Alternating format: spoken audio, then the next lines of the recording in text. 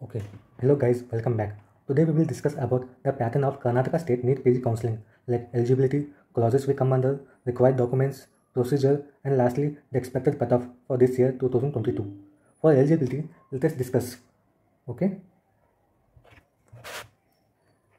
Eligibility for the state of Karnataka NEET PG counseling. Uh, there are many more criteria and we will read them out. Firstly, the candidate should have scored 275 marks in NEET PG 2022 for general category and OBC category and 245 marks for SC and ST categories including PWD.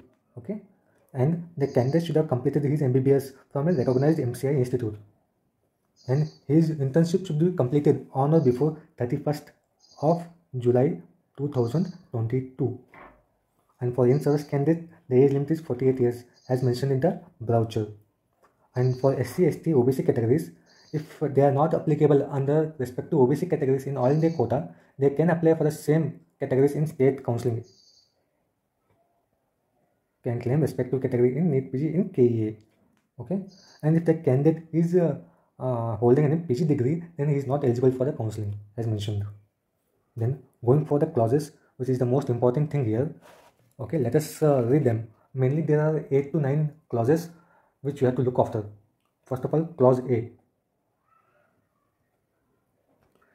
In clause a the candidate should have completed his mbbs from karnataka. I mean only mbbs in karnataka. And for clause b the candidate should have passed for 10 academic years. It may be from 10 to 12 plus MBBS from Karnataka. It means 10 years plus MBBS in the state of Karnataka. Then you come under clause B. For clause C, if you have completed 10 years of education from Karnataka, that is from 1 to 12 from Karnataka, but you pursue your MBBS outside the state of Karnataka, it means ten years in Karnataka plus M B B S outside Karnataka then you come on clause C going for clause D if your son the doctor of a serving employ belonging to Karnataka cadre then you can apply for ten years of custody in Karnataka as clause B of C means it means that if, your if your parents are working outside the Karnataka for 10 years and then you can produce the documents of those years and claim that 10 years of study within Karnataka has said. Then going for clause E. Clause E is yes, same as the above that is clause D but in case but in this case it is union government okay it is union government and before joining your parents should uh, I mean uh, declare that the place of her residency is in Karnataka. Karnataka has its hometown. Hmm? Then going for clause F. If your parents are member of parliament like Lok Sabha or Rajya Sabha for a minimum period of 10 years, then you can apply those years as 1 to 10 studied in Karnataka. Okay? Member of parliament from Karnataka to extent being the member of during the period of child study in Delhi. Okay? Then going for clause G if you are son or daughter of a defense personnel, then you can then you come under clause G. I'm going for clause Y. If you have studied MBBS outside the Karnataka, okay, nothing else, okay, then you come under clause Y. And for clause Z, if you are an NRI or foreign national students, then you come under clause Z. Okay, done. And going for documents required. The mandatory documents required for Karnataka State NEET PG counseling are firstly KEA registration form. We should take printout of it. Okay. Then photo and address proof like PAN card or Aadhaar card. Then NEET PG admit card and score card which are must. Then 1010 PUC cards and marks cards of all the phases. Then qualifying degree is nothing but provisional degree itself. So you should take a PDC okay? If you have passed recently mbbs means last year. And internship completion certificate from the college. And mci recognized certificate from the head of institute. That even that your college is recognized by MCI. And if you have KMC, that is Karnataka Medical Council's registration certificate, then you should get it. And you should also take an uh, affidavit of uh, rupees 20 stamps as uh, mentioning as KE as a second party. That will obey by the rules and uh, uh, other things. Okay. Then uh, if you have 371 J Karnataka certificate, then it is also must needed for applicability. When going for how to register yourself for the counseling at KE website, here are the some steps for them. Okay. Firstly, the candidate should create his or her profile with unique login ID by using Gmail or your mobile number. Both are required, not or IND. Okay. And after entering the login ID, then you should enter your roll number within the website. Then after entering the roll number, all your information, including your name, parents' name, my marks, rank, all will be fetched from NBE. Then you have to enter your eligibility clause code as mentioned and explained above. Then you have to upload your photograph and left thumb impression and signature. After all these steps, you have to make an online payment. Payment, uh, I will say for general and OBC category, it is 1000 rupees.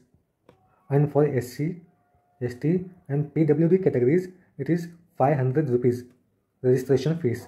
After registration, you have to take a print and submit the application.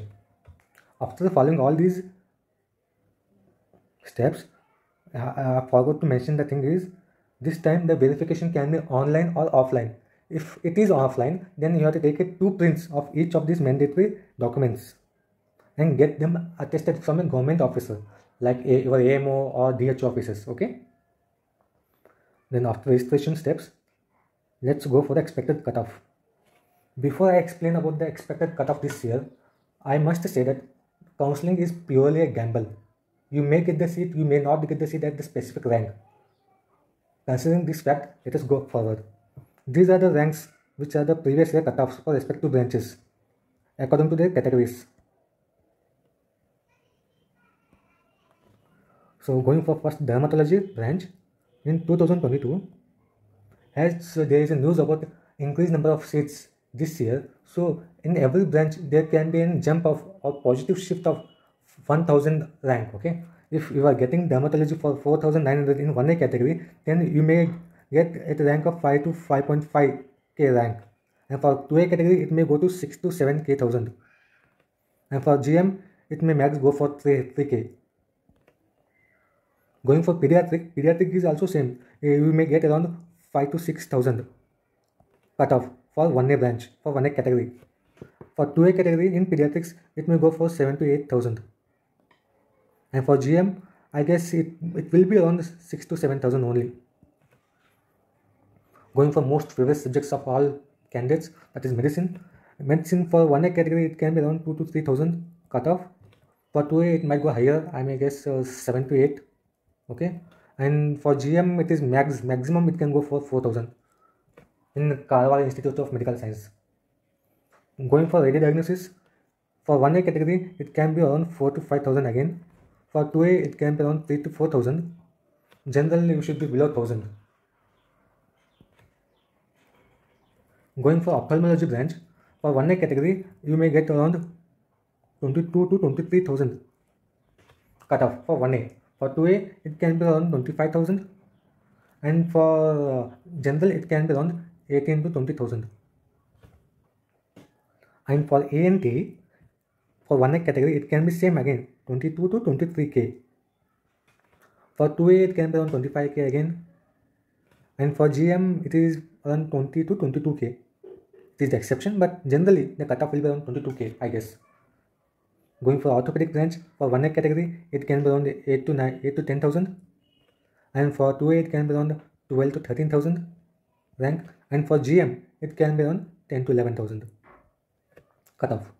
Going for anesthesia, anesthesia okay it's a good branch you can opt it and here the cutoff for 1a can be around 30 to 31k for 2a category it can be around 25k and for gm it will be around 21k cutoff for general surgery for 1a category it can be around 13 to 14k for 2a i am guessing it might be go higher this time 15 to 17 or 16k.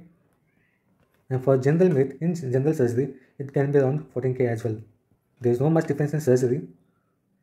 And going for OBG, for 1A category, it can be around 8000 cutoff. And for 2A, it can be around 9k. And again for GM, it can be around 7 to 9k. So these are the expected cutoffs for respective branches with respect to categories. But again, I must say, these all are gamble.